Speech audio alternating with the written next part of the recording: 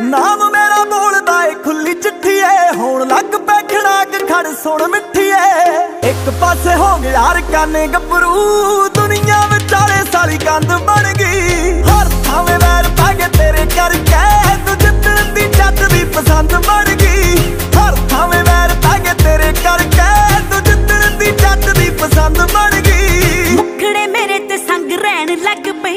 ਜਦੋਂ ਦੀਆਂ ਨਾਮ ਤੇਰਾ ਲੈਣ ਲੱਗ ਪਈ।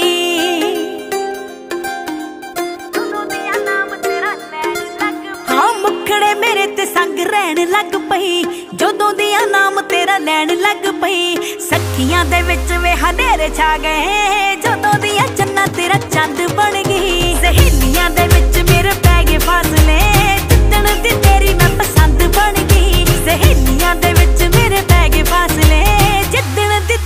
ਪਸੰਦ ਬਣ ਗਈ।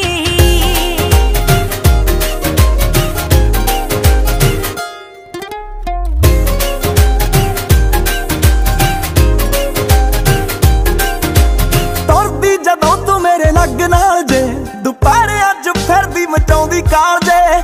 ਵਾਰਨਿੰਗ ਅੱਖ ਨੂੰ ਸਕੀਮਾਂ ਚੱਲੀਆਂ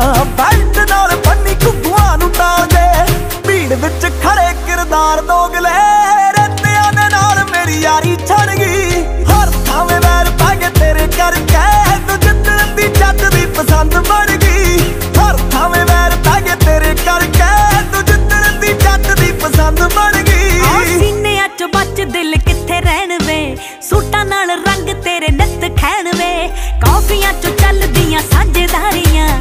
ਫੁੱਟਦੇ ਨੇ ਜਿਹੜੇ ਅੰਗਿਆਰੇ ਫੈਨ ਵੇ। ਮਿੱਠਾ ਜਿਹਾ ਹਾਸਾ ਮੇਰਾ ਜ਼ਹਿਰ ਹੋ ਗਿਆ।